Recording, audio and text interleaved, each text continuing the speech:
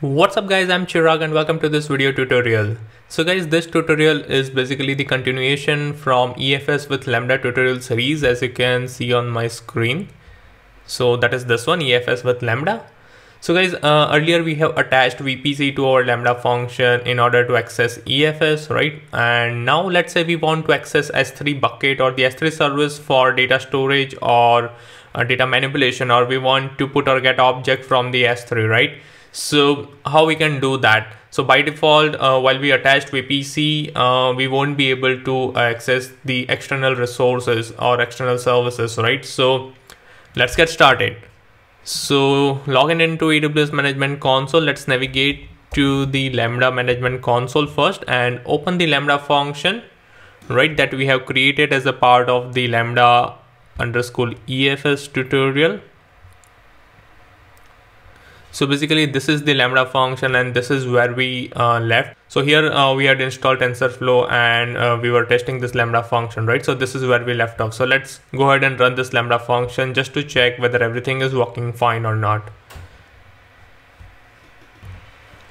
So now as you can see the lambda function is working fine right? So it ran successfully without any errors. And here we have a few uh, print statement that we had printed as a part of the function code right so now for example, I want to uh, store this tensor as a string uh, in a file on S3 bucket, right? So how we can do that? So the very first thing that we will require is to import Boto3. And once we have the Boto3 imported, we will define the S3 object, right? So S3 equal to Boto3 dot client followed by the service that is S3, right? So now we have defined the Boto3 object for S3 and here we will simply say S3 dot put underscore object followed by the bucket name.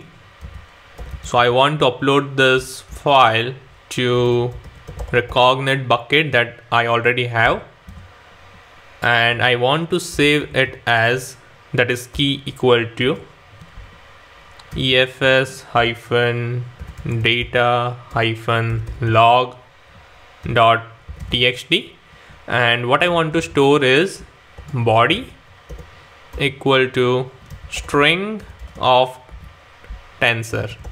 Right? This is what I want to upload and save it as efs hyphen data hyphen log dot txt now let me deploy this. And it is deployed successfully. Now let's test this lambda function So now as you can see, uh, the Lambda function got timeout after uh, 123.02 seconds, right? So what happened is that it basically tried to uh, reach out to S3 or tried to access S3, but it didn't, right? So it uh, waited for the response and then finally the Lambda function got timeout. So it was unable to access the S3, right? In short. So now uh, the question is that how we can access S3. So for that we will be using VPC endpoint. So basically VPC endpoint enables you to privately connect your VPC uh, that is being attached with this Lambda function to the supported AWS services and basically VPC endpoint services is powered by AWS private link, right? So what we have to do is now we need to navigate to VPC management console. So click on services, navigate to VPC Now once you are within VPC management console, click on endpoints under virtual private cloud from the left panel and click on create endpoint. Now here uh, within service category, uh, you can select AWS services and within service name search for S3 and select that. Within VPC, you need to select the VPC that you have attached with your Lambda function and then we need to check this route table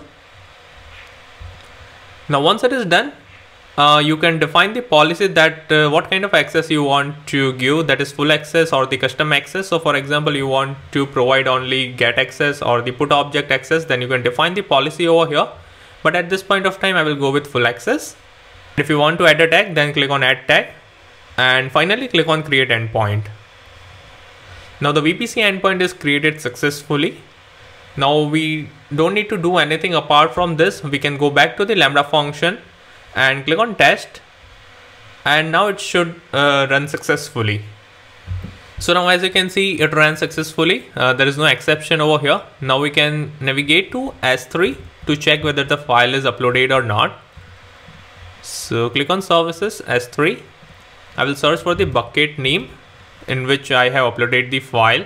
So that is recognite in my case and i will say last modified sort by last modified and as you can see here we have the file saying efs-data-log.txt so well, uh, this is how you can access uh, services from the Lambda function using VPC endpoint, right? So, well, uh, that's all I wanted to cover in this tutorial. And as usual, if you want me to do tutorial on any use case or service, then please leave them below and I will try my best to come up with the tutorial as soon as possible. And if you have any queries or comments, then again, please leave them below and don't forget to like and subscribe to my channel and see you